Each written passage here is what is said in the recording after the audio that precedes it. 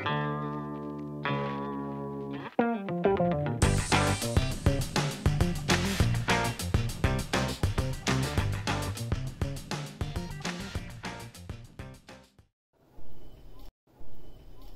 everyone welcome to Goldie's tasteful kitchen आज मैं आपको बनाना वॉलनट केक बता रही हूँ, जो एगलेस है और व्हीट फ्लावर से बना हुआ है।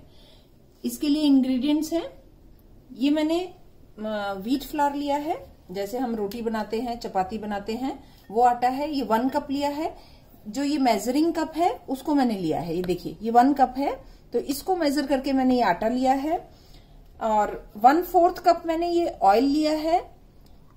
वन हाफ़ कप मैंने कर्ड ली है और हाफ़ कप मैंने चीनी को लेकर पीस लिया है। पहले हाफ़ कप चीनी ली है, फिर उसको पीसा है। ये बेकिंग पाउडर है, जो मैं वन टीस्पून यूज़ करने वाली हूँ। Few drops of vanilla essence है, ये सॉल्ट है, जो मैं वन पिंच यूज़ करूँगी, और वॉलनट है, जो मैंने हाफ़ कप कोसली चॉप लिया है, बहुत महीन काटने की ज़रूरत नहीं है, थोड़ा मोटा मोटा ही ले सकते हैं। ये मैंने खाने वाला सोडा लिया है, जिसको बेकिंग सोडा भी आप कहते हैं वन फोर्थ टी स्पून ये मैंने राइट बनानाज लिया है टू बिग साइज़ के हैं। थोड़ा पका हुआ होना चाहिए, जो बनाना आप खाने के लिए छोड़ देते हैं कि हमें नहीं खाना है अच्छा नहीं है वो आप ऐसे केक में यूज़ कर सकते हैं। आ, ये मैंने डिश ली है जिसको मैं बेक करने में यूज़ करूँगी। ये देखिए मैंने इसको ऑयल से ग्रीस कर लिया है। बटर से ऑयल से किसी से भी आप ऐसे अच्छे से चारों तरफ़ से कॉर्नर से ऐसे ग्रीस कर सकते हैं। ये मैंने मैदा ली है जिसको हम इसमें इससे डस्ट करेंगे। लाइक like अगर हमने ये ऑयल इसको ऐसे ग्रीस कर लिया है उसके बाद हम ऐसे चारों तरफ़ से इसको मैदा को फैलाएँगे, ऐसे ही किनारे से लगाएँगे। एक्सेस मैदा को इसमें निकाल लेंगे। इससे हमारा जो केक है, वो चिपकता नहीं है और आप पार्चमेंट पेपर भी यूज़ कर सकते हैं, लेकिन इससे भी केक जो है इजीली निकल आता है। ये देखिए, चारों तरफ़ से हमने एक्सेस मैदा को निकाल लिया है डस्ट करके, और it is ready to bake तो आइए स्टार्ट करते हैं। बनाना को हमने पीसेस में काट लिया है। पहले अच्छे से छील लिया, फिर काट लिया। अब हम फोक की मदद से ऐसे इसको पूरा मैश कर देंगे। देखिए, काफ़ी अच्छे से मैश हो गया है। इतना हमें इसको अच्छे से मैश करना है। इस तरह से मैश मैश हो जाएगा ये। अब ये रेडी है हमें उसमें डालने के लिए।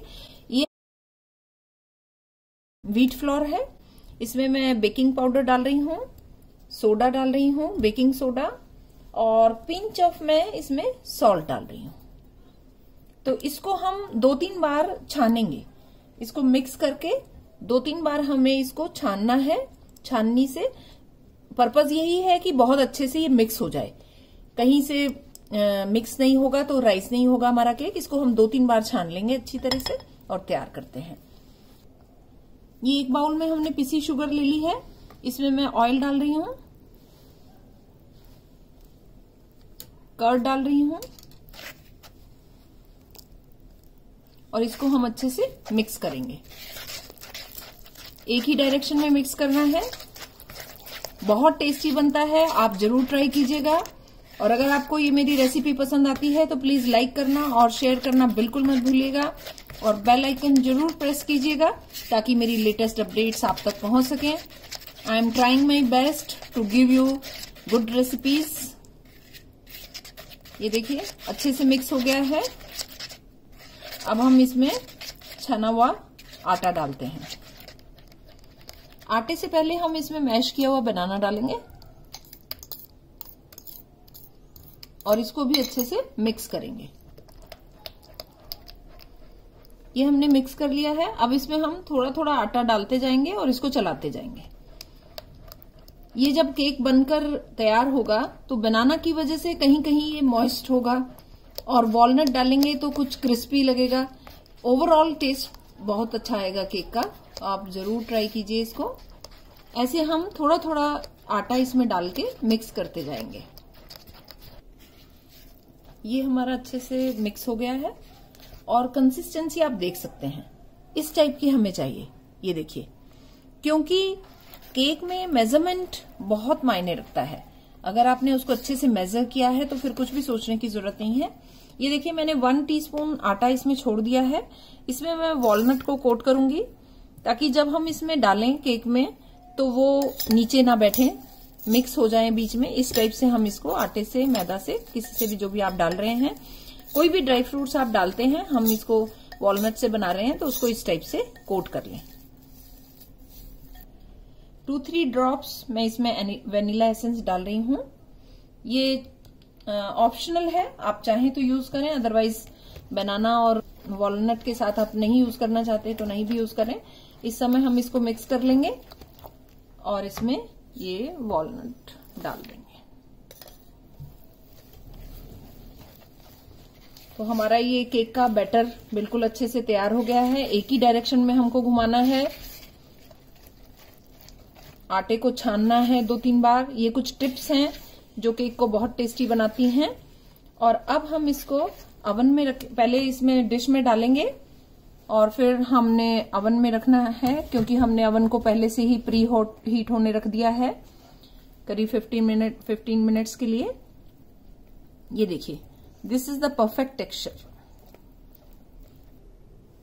अब हम इसको लास्ट में टू थ्री टाइम्स ऐसे टैप करेंगे। ये भी मस्ट है और अब हम इसको अवन में रखेंगे।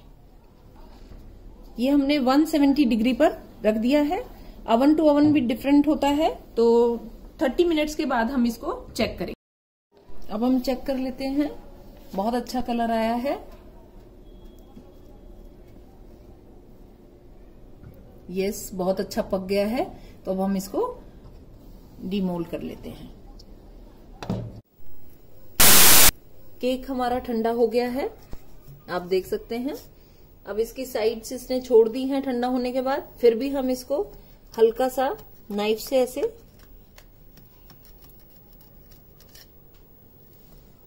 साइड्स इसकी खोलेंगे।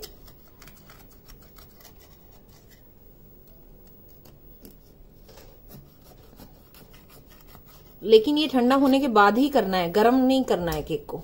गरम के साथ। अब हम इसको इसमें डीमोल्ड करेंगे।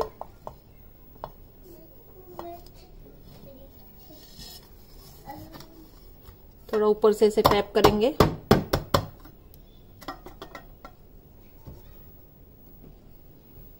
और ये देखिए कितना अच्छा बेक हो गया है, कितना सुंदर कलर आया है। आप ज़रूर ट्राई कीजिएगा। सभी अवन का अलग अलग होता है।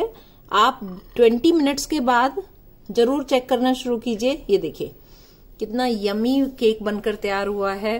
वेट नहीं हो रहा है, अभी लग रहा है कि पीसेस कट करके खा लिए जाएँ और टेस्ट किया जाए कि कैसा लगा है। ये मैंने कट कर लिया है पीस। ये आप देख सकते हैं, कितना यमी है, कितना अच्छा लग रहा है और स्पंजी है। ये देखिए, ये देख सकते हैं आप। और इसमें बीच में आलमंड्स हैं। अच्छे से पक गया है हमारा केक। बहुत टेस्टी है और बहुत खुशी हो रही है अपना केक ऐसे बनते हुए देखकर। तो ज़रूर ट्राई कीजिएगा और keep checking oven to oven different होता है। 20 मिनट्स के बाद आप ज़रूर उसको चेक करते रहिए कि ब्राउन हो गया है, अच्छे से राइज हो गया है। कभी भी खराब नहीं होता है, बस ये चेक करना ज़रूरी है। Thank you very much for watching my recipe